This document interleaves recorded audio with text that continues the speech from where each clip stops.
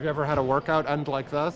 Um, um yeah, um, my last workout in Utah ended. Oh, with the lights cutting off? Oh no, no, no, no, no, no. Um, didn't pay the bill. yeah, yeah, something like that. But Short of money. yeah, you know, that's what happens when you shoot the lights out, man. You're making every shot. So this one will be memorable then. Definitely, definitely. How, uh, how was today's workout overall? Today's workout was really good. Um, really competed. You know, um, this is uh, one of the first workouts where we did all all comp- competition. You know, we lot, a lot of stuff we were doing is full court, um, shots and things like that. But uh, we are really able to play basketball and show what we can do and show our IQ. So um, I really like this workout. We were able to go against each other. Um, me and uh, um, Rashad were able to match up one on one. So um, it was a great workout for me. Do you feel like you're able to compare workouts from city to city, or does it change just depending on what they have you do? Yeah, it just it just changes. You know, it depends on the personnel and who they have. Um, one of my workouts was four guards, so um, it's like four to six players. So it, it's different. They have a lot of similar drills, three on two, um, um, back to three on three, um, but a lot of full court three on three stuff is what's the most consistent with um, all the all the workouts I've gone through. This is my ninth one, so um, it's, they, they changed it up a little bit, but it's um, fairly the same. How are you feeling after nine workouts? I'm tired. I'm ready to go back home and just relax a little bit. And um, I have three days off before my fly to my next workout. So um, I'm just looking forward for that to that. What's the biggest thing that you want teams to know about you on court and off court? On the court, just I'm a competitor. You know, I do whatever it takes to win, whether it's diving on the floor, cheering for my teammates.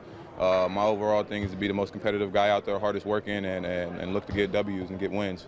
Um, off the court, I'm laid back. You know, no, not a problem. You know, um, you don't have to worry about me getting in trouble or anything like that. So um, that's what I want the, uh, the, the teams and the coaching staff to know about me. I'm a hardworking guy, laid back, and um, high character. Do you consider like an NBA ready skill something you could bring to a team like day one? Day one, my I, my, my grit, my toughness, and defense. Um, um, that's something that always translates to the NBA really well. And my athleticism, I'm able to get up in guys and create steals, get out in, on the break, and finish at the rim, and get to the free throw line. So the uh, athleticism and defense are things you can go on from day one and, and compete. Do you get a chance to talk with the coaching staff at all in these workouts, or is it just more you doing work, them observing? If you get if, if they say something to you afterwards, then Yeah, yeah. Um, um, they do a good job of setting up um, interviews after our workouts and um, being able to sit down, ask um, questions, get to know you. Um, it's really relaxed and, and chill environment. So you're able to go up to them, talk to them, ask them about games, what, what you need to improve on, things like that, to give you your, your feedback. So I really like it how they're, they're open and, and willing to listen and help their guys out. One more question.